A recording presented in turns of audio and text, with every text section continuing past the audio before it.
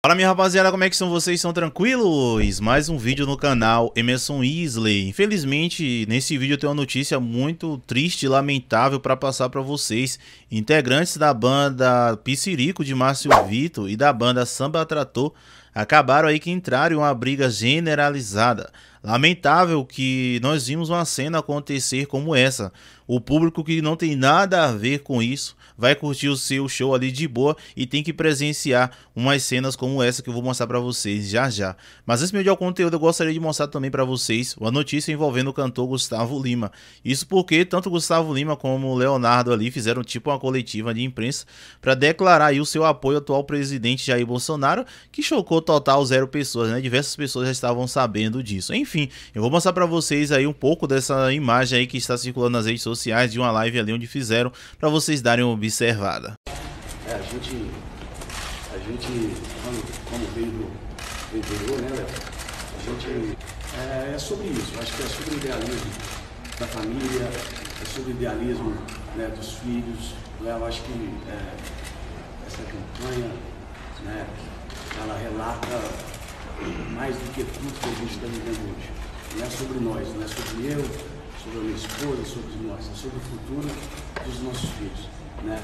É, sobre o agro, sobre as pessoas do interior, sobre as pessoas que colocam a comida na mesa né, de cada brasileiro, é gente trabalhando, muita gente é, fazendo parte disso, e levando essa comida até para o prato do mundo inteiro, né? das pessoas do mundo inteiro. Então, assim, eu defendo muito esse pessoal que, que trabalha é, dia e noite para produzir, né?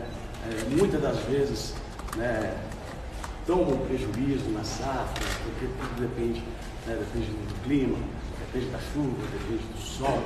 E eu sou a, a favor total.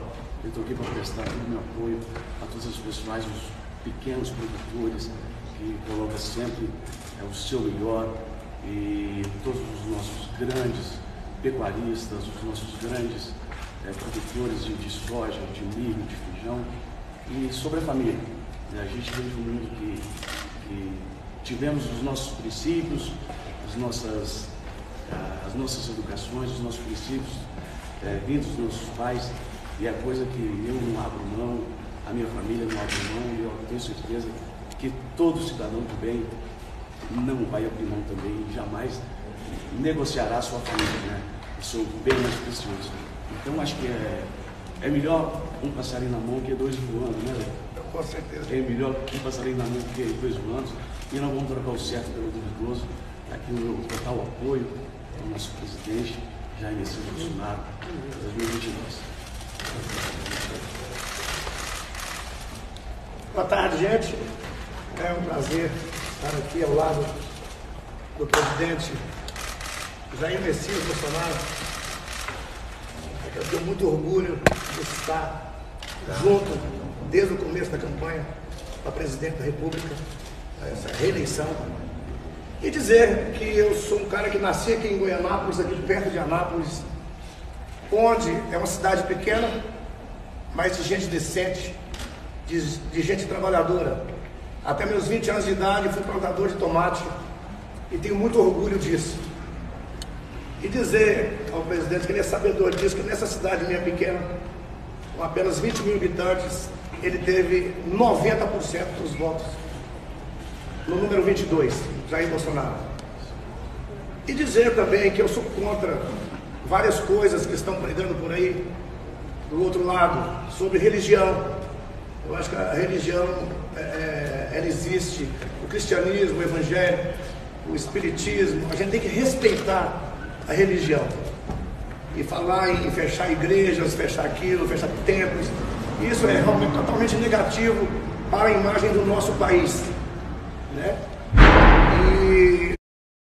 Pois é, rapaziada, como vocês viram aí, tanto Gustavo Lima quanto é, Leonardo apoiando o atual presidente e candidato Jair Bolsonaro. Algo aí que chamou bastante atenção nas redes sociais, porque não é algo tão normal ver cantores se posicionando dessa forma aí, fazendo live e tudo mais. Mas enfim, o que é que vocês acharam aí é, do posicionamento de Gustavo Lima e Leonardo sobre essa situação? Deixe aqui embaixo nos comentários. Algo aí que está muito normal, que nós vimos constantemente cantores é, sertanejos apoiar o atual presidente presidente Bolsonaro. Mas enfim, rapaziada, aquela, aquela perguntinha de praxe aí pra vocês. Você vota em quem? É, Bolsonaro ou Lula? Deixa aqui embaixo nos comentários, pois seu comentário é super importante. E deixem aqui também nos comentários o que é que vocês acham de cantores estarem se posicionando politicamente, pois seu comentário ele é super importante. E a notícia principal desse vídeo, como eu falei pra vocês no iníciozinho, é envolvendo a banda Piscirico. Isso porque os integrantes acabaram ali se envolvendo em uma briga generalizada, imagens lamentáveis, cara.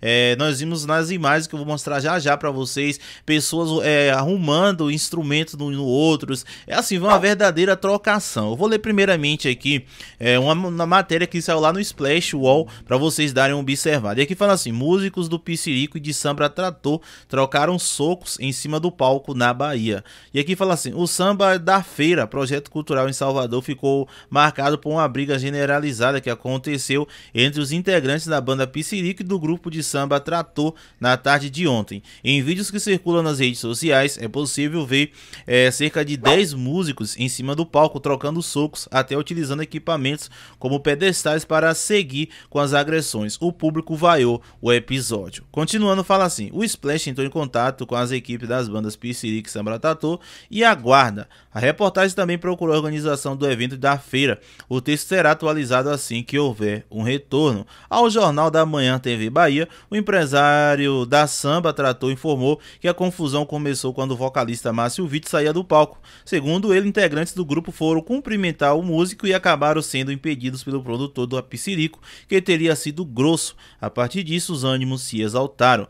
Também o um programa de produção do samba da feira enviou a nota pedindo desculpas ao episódio. O Samba de Feira é um projeto cultural e que trabalha para levar alegria e fortalecer esse gênero musical da nossa terra que é o samba, para levar a paz e somente alegria aos nossos seguidores, diz ao comunicado, fechou aspas aí, o Samba da Feira é, divulgou essa nota aí ao TV Jornal. Pois é, rapaziada, agora eu vou mostrar para vocês as imagens aí é, de toda a confusão para vocês darem uma observada. Caso o YouTube é, banir aí as imagens, eu não vou deixar para vocês, só vou deixar as imagens, mas se não, eu vou mostrar pra, as imagens do vídeo completo para vocês, vejam.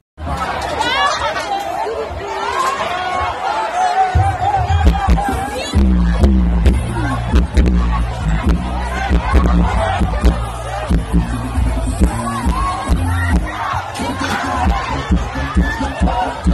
you.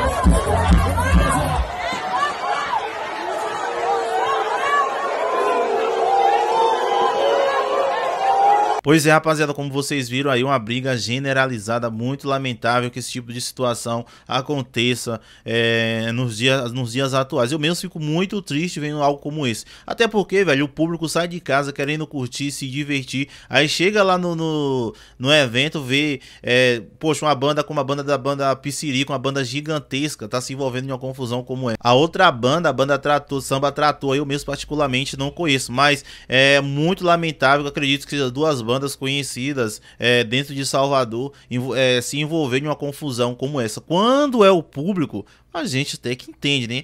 Mas duas bandas, ver caras, digamos de passagem, pai de famílias, velho, se envolver em algo como esse, uma verdadeira pancadaria. Imagine as crianças que, poxa, que tinha tanta ambas as bandas ali como ídolas, é, passar por esse tipo de situação. Mas enfim, rapaziada, o que é que vocês acharam disso tudo? Eu mesmo, particularmente, achei isso muito triste, muito lamentável e, acima de tudo, uma falta de respeito às pessoas que estavam presentes no local. Bom, gente, esse é o vídeo de hoje. Muito obrigado por vocês assistirem até aqui. Eu espero vocês no próximo. Um abraço e até qualquer momento. Tamo junto.